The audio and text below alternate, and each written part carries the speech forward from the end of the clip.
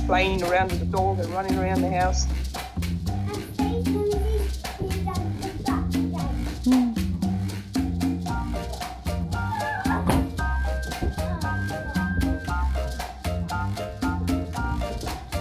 we found out that his little lamb was looking for home. We, our kids were so excited. We brought him inside and they cuddled up in the couch and my daughter had them dressed him up. He's become such a part of our family. What's up, Steve? He comes in the house, he goes straight in the pantry Steve?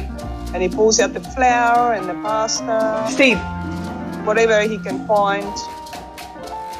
But then he goes to the lounge, just checks what's in there and He's gonna jump on the couch. He thinks he will fit on the couch, but he won't fit on the couch.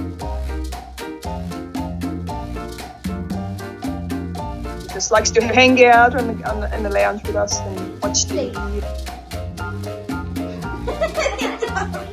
Steve knows any different, like he thinks it's probably a, a dog.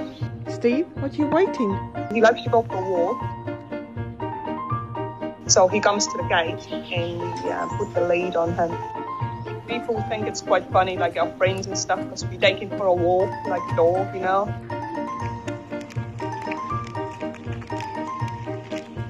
And then we take him down in the park and we let him off.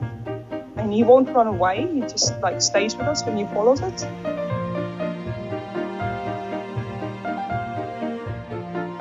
When we let him out, he goes straight in the orange tree and, and pulls them off. That's been his favorite food.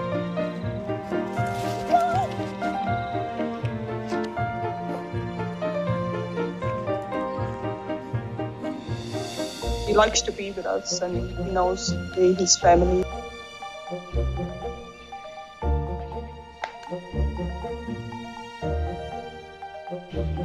Thinks our son is like his brother.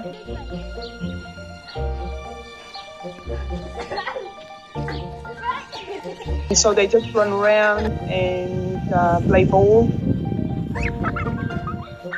He loved to go on a trampoline and he thought that's his trampoline. Our son wanted to go on it. He didn't let him to go on it, so.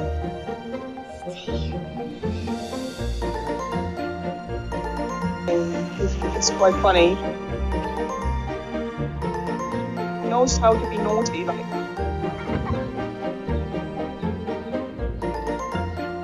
I could not imagine living without him.